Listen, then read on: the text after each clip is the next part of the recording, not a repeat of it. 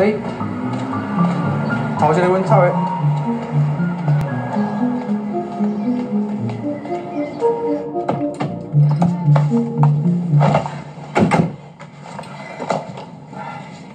Can you just cut the shit? Like, have I been kidnapped or what's what's going on?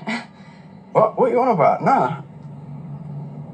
Like, I, I know you stole my phone, so Are you mental? Please, can you just tell me the truth? I know you've been lying to me, and I know Quentin isn't your uncle. Yes, he is, Yeah? So you fuck your uncle?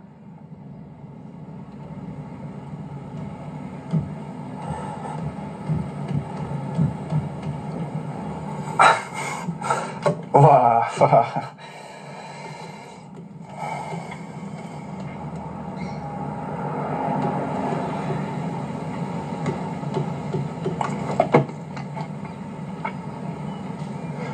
Well, I was going to you around the island, but not really in the mood now. Guess I'll just drive you back. I can just. I can just get a cab. Takes a couple of hours, you can't afford a cab. Anyway, my uncle made me promise to drive you. You don't want me to get in trouble now, do ya?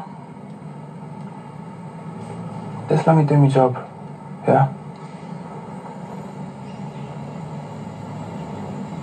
How am I your job?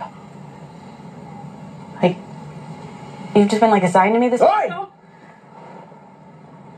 Just leave it alone. Yeah?